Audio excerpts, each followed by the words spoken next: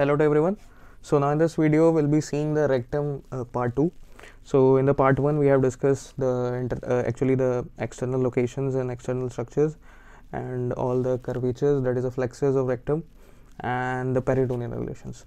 so, इस video में हम बात करेंगे इसके रिलेशंस की मतलब एंटीरियरली कौन से पार्ट्स होते हैं इसके पोस्टीरियरली इसके कौन से पार्ट्स होते हैं बॉडी के जो उसके पीछे लाइक करते हैं और लेटरली क्या होता है तो स्टार्ट करते हैं हम इंटीरियर से और इंटीरियर में एक डिफरेंस होता है मेल और फीमेल में। ये कि दोनों में कुछ पार्ट्स डिफरेंट होते हैं, क्योंकि एक्सटर्नल ऑर्गन जो एक्सटर्नल जेनाइटल ऑर्गन होती हैं, जो बेसिकली फीमेल्स में अलग होती हैं, जिसके कारण हमारी इंटीरियर रिलेशन डिफरेंट हो जाती है मेल और फीमेल में।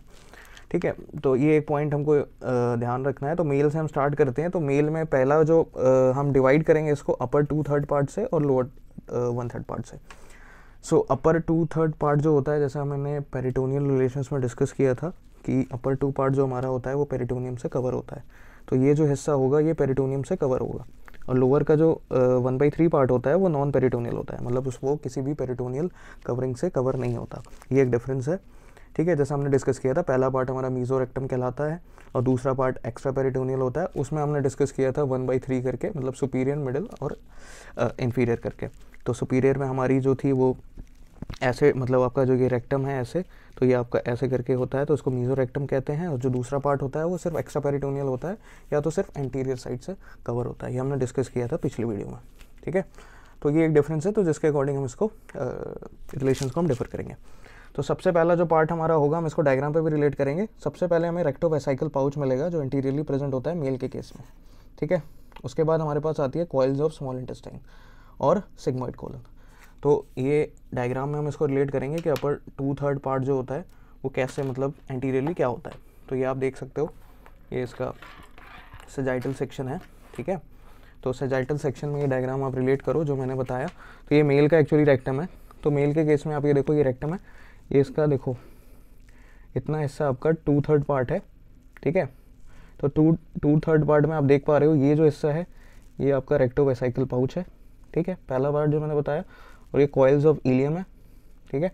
तो स्मॉल इंटेस्टाइन की कॉइल्स हैं और यहाँ पे सिग्मोइड कोलन है, जो लार्ज इंटेस्टाइन का पार्ट है। तो ये पार्ट्स आपके एंटीरियरली लाई करते हैं मतलब इसके आगे, ठीक है? ये मतलब है इसका। इतने से हो गए जो अपर टू थर्ड पार्ट में, जैसा मैंने बताया कि दो पार्ट्स हम डिवाइड करेंगे, और लोअर में क्या होगा? लोअर में हमारे कौन से पार्ट्स होंगे? लोअर में हमारा होगा बेस ऑफ़ द ब्लैडर ठीक है? यूरेटर और कुछ genital organs seminal seminal vesicle ठीक है? एम्प्यूला ऑफ़ वास्ट डिफरेंस और प्रोस्टेट ठीक है? तो ये हिस्से होंगे यहाँ पे, इसको भी हम देख लेते हैं लोअर वन थर्ड में।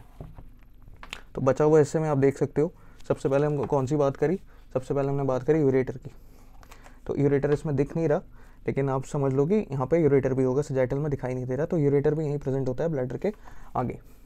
अब बेस ऑफ़ द ब्लैडर आप देख पा रहे हो, ये रहा बेस ठीक है? ये हिस्सा, ठीक है? तो ये आपका बेस ऑफ़ द ब्लैडर भी एंटीरियरली प्रेजेंट होता है। उसके बाद हमने क्या डिस्कस किया? समाइनल वेसाइकिल आप देख पा रहे हो, ये रही। ब्लैडर के जस्ट इधर। ये हिस्सा आपका समाइनल वेसाइकिल है, ठीक है? रेक्टो वेसाइकिल पाउच हमने डिस्कस कर लिया समाइनल वेसाइकिल होगी। उसके बाद हमारा एम्पुला ऑफ़ वास डिफरेंस है। वास डिफरेंस भी आपका इधर ही कहीं होगा बस आपके इधर प्रोस्टेट के आसपास से आपका निकलेगा तो इसमें आप देख नहीं पा रहे हो बट ये भी हिस्सा यहीं पे लाई करेगा इन्फीरियर रीजन में रेक्टम के। ठीक है?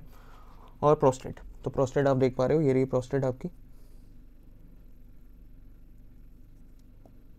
ये वाला हिस्सा आपका प्रोस्टेट है, ठीक है?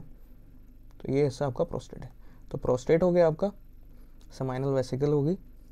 मतलब ये आपकी एजैकुलेटरी डक्ट है ना जो, इसके आगे आप जाओगे तो ये हिस्सा भी आपका मतलब एम्पुला ऑफ़ वॉस डिफरेंस और आपके समाइनल वेसिकल्स आपके प्रेजेंट होंगे। क्लियर इतना। ये हिस्सा हो गया मेल में एंटीरियर की बात हो गई।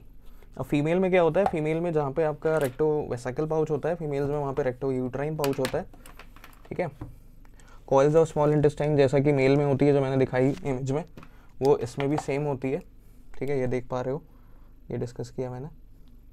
तो ये भी सेम होती है, ये रही सिग्मोइड कॉलन और कॉइल्स ऑफ़ हीलियम और एक जो फीमेल की जेनाइटल पार्ट होता है वेजाइना का लोअर पार्ट होता है मतलब पोस्टीरियर फॉर्निक्स उसको कह सकते हो आप, या तो वेजाइना का नीचे वाला हिस्सा मतलब ऊपर से लेके जो सबसे नीचे वाला हिस्सा होता है, वो लाई करता है लोअर पार्ट में रेक्टम के। बाकी बेस ऑफ़ द ब्लैडर भी आप इंक्लूड कर सकते हो और यूरेटर भी इंक्लूड कर सकते हो, मगर वो थोड़ा सा आगे होता है, क्योंकि वेजाइना आ जाती है, जिसके कारण वो हिस्सा थोड़ा सा वेजाइना के आगे प्रेजेंट होता है बट उसे भी आप इंक्लूड कर सकते हो। ऐसा बुक्स में लिखा नहीं है बट डायग्राम्स में आप उसे भी देखते हो, ठीक है? कहीं कहीं लिखा होता है कहीं कहीं नहीं लिखा होता है। तो बेस ऑफ़ द ब्लैडर और आपका यूरेटर भी प्रेजेंट होता है। ठीक है? और यूट्रस भी। यूट्रस भी एक फीमेल की ऑर्गन है स्पेसिफिक तो ये हो गया आपका एंटीरियर रिलेशन ठीक है? इतना क्लियर डायग्राम से आपको क्लियर हो गया होगा। ठीक है? अब हम बात करते हैं पोस्टीरियर रिलेशन की। अब पोस्टीरियर रिलेशन में हमारे पास सेम होता है, जैसा हमारे इंटीरियर में जो डिफरेंस था, वो पोस्टीरियर में डिफरेंस नहीं होता है। हमारी पोस्टीरियर रिलेशन सेम होती है बोथ मेल और फीमेल में। और हम इसको डिवाइड करते हैं मिड लाइन से। मतलब मिड लाइन में एक जो रेक्टम के मिड लाइन में जो स्ट्रक्चर्स आएँगे, एक वो होंगे और एक साइड में आएँगे, वो होंगे। ठीक है? तो हम उसके अकॉर्डिंग इसकी रिलेशन को डिफाइन करते हैं। तो मिड लाइन की जब हम बात करेंगे तो सबसे पहले सैक्रम के तीन हिस्से आते हैं मतलब एस थ्री एस फोर और एस फाइव ठीक है? और कॉकिक्स तो ये चार हिस्से आपके मिड लाइन में आते हैं। तो ये डायग्राम आप देख रहे हो। इस डायग्राम से रिलेट कर सकते हो। यहाँ पे आपकी रेक्टम होगी। रेक्टम आपकी यहाँ से स्टार्ट होगी, ठीक है एस थ्री से। और इतना ऐसा आपका मान लो रेक्टम ऐसे होगी। एस थ्री हो गया एस फोर एस फाइव और कॉकेक्स ठीक है? तो ये मिड लाइन में आ रही है आपकी, ये मिड लाइन है यहाँ पे। तो इसके अकॉर्डिंग हम इसको रिलेशन डिफाइन करेंगे। फिर कॉकेक्स होगी, फिर एनोकॉकियल रेफे होगा, ठीक है? गैंगलियन इम्पार होगा। इम्पार का मतलब इसको गैंगलियन ऑफ़ वॉल्थर भी कहते हैं। क्योंकि ये इम्पार एक्चुअली क्या होता है, ये आपका जो सिंपथेटिक चेंज होती है ना, ये यहाँ पे आके टर्मिनेट होती हैं। ठीक है, दोनों साइड्स की। तो इसके कारण यहाँ पे जो, जहाँ पे कॉकिक्स के पास ये क्लोज होती हैं, इसी को गैंग्लियन इम्फार कहते हैं। मीडियन साइक्रल वेसल्स होंगी, ठीक है? मीडियन साइक्रल वेन और सुपीरियर रेक्टल आर्टरी होगी मिड लाइन में और फेशिया ऑफ़ वेल्डेर होगा। ठीक है, ये ये इससे आपके मिड लाइन में होंगे। मैं इसको डायग्राम पे आपको लाइन वाले पार्ट्स को हमने जिस डिस्कस किया, इसको हम एम पर डिस्कस करते हैं। तो मिड लाइन में क्या क्या दिखेगा? पोस्टियरली तो सबसे पहले थ्री पीसेज ऑफ़ सेक्रम जो मैंने बताया, और कॉकिक्स तो मैंने पहले ही बताया आपको।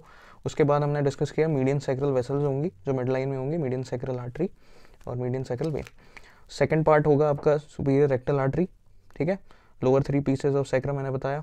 फिर गैंगलियन एम्पायर होगा। गैंगलियन एम्पायर ये जो सिंपथेटिक चेंज आप देख रहे हो, ये चेंज आके यहाँ टर्मिनेट हो रही हैं। इसी को गैंगलियन एम्पायर कहते हैं या फिर गैंगलियन ऑफ़ वॉल्थियर जो मैंने यहाँ पे बताया वॉल्थियर ठीक है साइंटिस्ट के नाम पे है ये, और कॉकिक्स होगा इसके पीछे, और एनोकोगियल रेफे होगा, ठीक है? ये रहा रेफे आपका, यहाँ पे मिड लाइन में। तो ये इससे आपको कॉमन दिखेंगे मेल फीमेल में पोस्टियरली ठीक है? उसके बाद हम साइड्स की बात करते हैं। साइड से आपको मतलब दोनों साइड्स में क्या क्या दिखेगा? पहले आपको मसल्स दिखेंगे तीन पेरीफॉर्मिस कॉकियस कॉकिक्स मसल और लेबेटर एनी मसल ठीक है? सिंपैथेटिक चेन्स मिलेंगी, दोनों साइड से आएँगे सिंपैथेटिक चेन्स तो साइड्स में होंगी एंटीरियर रेमाई होगी आपकी एस थ्री एस फोर और एस फाइव और कॉक्सियल सी वन ठीक है? पेल्विक स्प्लांटिक नर्व होगी, या पैरासिम्पैथेटिक नर्व्स होती है, आपने पढ़ी होगी, और लेटरल साइकिल वेसल्स होंगी। जैसे मीडियम साइकिल थी मीडियम साइकिल एक होगी पर लेटरल वाली दोनों साइड होगी, इसलिए हम उसको साइड्स में डिस्कस करेंगे। इसलिए वो साइड्स में लाइक करती हैं पोस्टिरियरली रेक्टम के, ठीक है? इसको भी हम डायग्राम पे देखते हैं। पहले मसल्स देखते हैं पेरीफॉर्मिस की हमने बात करी तो पेरीफॉर्मिस आप ये देख रहे हो, ये रही, ठीक है? दोनों साइड्स में रही ठीक? उसके बाद हमने बात करी कॉकिक्स की तो कॉकिक्स ये रही मसल ठीक है? दोनों साइड पे है तो साइड्स में प्रेजेंट है। फिर लेवेटर एनी की बात करी लेवेटर एनी उसके नीचे है, ये रही, ठीक है? ये सपोर्ट प्रोवाइड करती है रेक्टम को, दोनों साइड से पेरिटोनियल फोल्ड से, ठीक है? पेरिटोनियल जो कवरिंग होती है साइड में, उससे, उसके बाद सिंपथेटिक चेंज आप देख रहे हो ब्लैक से, दोनों साइड्स ये बीच में गैंग्लियंस हैं। ये दोनों साइड से चेंज आ रही हैं। ठीक है, यहाँ टर्मिनेट हो रही हैं। तो सिंपथेटिक चेंज हो गई। फिर एंटीरियर प्राइमरी रेमाइज जो निकल रही हैं, यहाँ से पैरासिम्पथेटिक ठीक है तो ये एस थ्री एस फोर और एस फाइव और पैल्विक स्प्लैंशिक नर्व्स हो गई पैरासिम्पथेटिक नर्व्स होती हैं, पता है आपको? तो ये भी प्रेजेंट होती हैं यहाँ पे। ये नहीं पैल्विक स्प्लैंशिक नर्व्स ठीक है, और लेटरल साइकिल वेसल्स जो साइड्स में होंगी, ये रही। ठीक है लेटरल साइकिल वेसल दोनों साइड में तो साइड्स में इंक्लूड करेंगे। इतना क्लियर और हमारे पास कुछ फेशियर्स होते हैं जो हमने डिस्कस किया उसके लिए भी एक डायग्राम है मेरे पास उसमें आप रिलेट कर सकते हो। तो पहला हमने बात करी थी रेक्टोजेनाइटल फेशिया होता है, जो आपको एंटीरियरली देखने को मिलता है मेल्स के केस में। तो ये फेशिया एक्चुअली प्रेजेंट होता है आपके रेक्टम में और जेनाइटल ऑर्गन्स में। तो इसको डेनोवेलियर्स फेशिया भी कहते हैं, या फिर रेक्टोजेनाइटल फेशिया कहते हैं। तो आप इसको यहाँ पे इंक्लूड कर सकते हो मेल में। मेल के लोअर वाले पार्ट में, आप रेक्टोजेनाइटल फेशिया भी कह सकते हो फेशिया के रिस्पेक्ट में। ठीक है? और एक फेशिया पोस्टीरियरली होता है, जो कॉमन होता है मिड लाइन में होता है फेशिया ऑफ़ वॉल्डेयर तो फेशिया ऑफ़ वॉल्डेयर कहाँ प्रेजेंट होता है? आपका फेशिया ये प्रेजेंट होता है आपके, ये जो आपका हिस्सा है ना, ये वाला, ये ये फेशिया है आपका येलो वाला, ये आपका रेक्टम है पीछे मतलब इसके आगे है। मगर ये फेशिया पीछे है और ये किसके प्रेजेंट में, वर्टिब्रा है, ठीक है? आपकी कॉकेक्स है यहाँ पे सेक्रम के बाद। तो ये मतलब वर्टिब्रा और रेक्टम के बीच में फेशिया प्रेजेंट होता है तो ये पोस्टीरियर लाई करता है। इसको वर्ल्डियस फेशिया कहते हैं या तो रेक्टो सैक्रल फेशिया कहते हैं। सैक्रम का कुछ हिस्सा और कॉकेक्स ठीक है? सैक्रम इसीलिए यूज़ हो रहा है। यहाँ जेनाइटल ऑर्गन्स आ गए हैं तो रेक्टो जेनाइटल ठीक है? बाकी रेक्टो प्रॉपर फेशिया होता है ऊपर की तरफ़ और एक विसरल और प्री सैक्रल फेशिया होता है, वो थोड़ा पीछे होता है, ठीक है? तो मेन ये दो फेशियाज हैं जो रिलेशन में इंक्लूड होते हैं। एक एंटीरियर में रेक्टोजेनाइटल पोस्टीरियर में रेक्टोसैक्रल या फेशिया एंटीरियर और पोस्टीरियर रिलेशन डिस्कस कर ली. अब लेटरल रिलेशन की बात करते हैं. लेटरल में कोई ज़्यादा पार्ट्स नहीं है. अपर पार्ट में अगर बात करेंगे अपर का मतलब कि जो two two by third part है, उसमें पैरारेक्टल फोसा होता है. पैरारेक्टल फोसा में कोयल्स ऑफ़ स्मॉल इंडस्टाइन और सिग्मोइड कॉलोन प्रेजेंट होते हैं. ठीक है, जो एंटीरियरली भी होते हैं और साइड्स में भी ऑलमोस्ट थोड़े बहुत आ जाते हैं, जिसको हम लेटरली इंक्लूड कर लेते हैं. तो बेसिक पैरारेक्टल फोसा होता है. ये रेट्रोसाइक्रल फोल्ड्स का बना होता है मतलब पेरिटोनियल से पेरिटोनियम से बना हुआ होता है, ठीक है?